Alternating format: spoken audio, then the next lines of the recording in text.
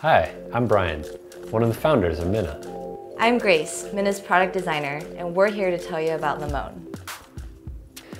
We started Minna because we realized there weren't very many vibrators out there that were both innovative and well designed.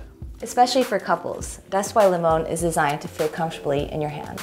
Limon also doesn't have any cumbersome speed settings you need to adjust. You control the intensity just by squeezing. You're free to be spontaneous and have a completely unique experience every time. Whether you're using it by yourself or with a partner, it feels like an extension of your body.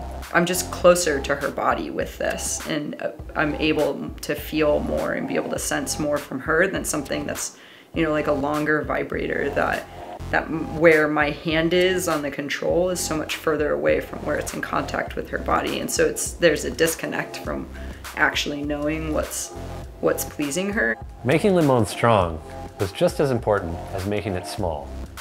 After working through many prototypes, we were able to utilize a motor that's typically used in vibrators that are twice as big. We also mounted the motor in a way that focuses the vibrations away from your hand and into the tip, leading to intensity that's consistently strong.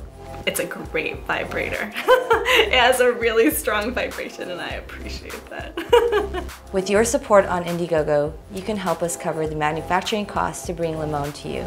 You'll also be able to provide us with feedback we can incorporate into future products. Thanks for your time and your support.